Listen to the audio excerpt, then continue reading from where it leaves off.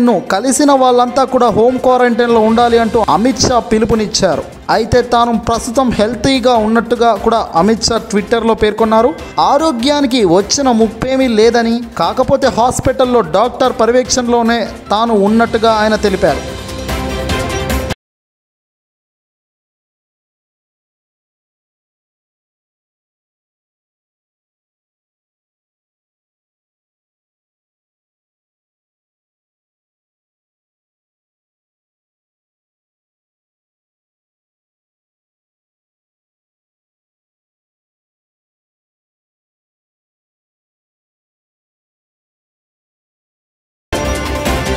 Corona బారిన పడిన వ్యక్తులు చాలా వరకు క్యూర్ అవ్వడం తెలుస్తుంది. అయితే ఇప్పుడు ఏకంగా అమిత్ షాను కూడా కరోనా వదలలేదని తెలుస్తుంది. కేంద్రంలో అతిపెద్దమైన వ్యక్తి అయిన అమిత్ షాకు నేడు కరోనా పాజిటివ్గా తేలింది. అయితే హాస్పిటల్లో డాక్టర్ల పర్యవేక్షణలో తాను ఉన్నట్టుగా తెలిపారు.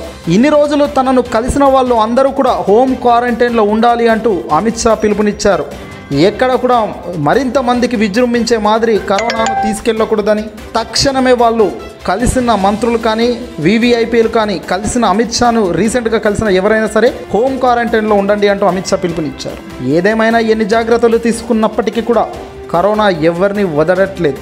అది రావడం పక్కాగా ఉంది. కాకపోతే దానికి తగ్గ జాగ్రత్తలు తీసుకోక తప్పదు. ఈ వీడియోపై మీ విలువైన అభిప్రాయాన్ని తెలపండి.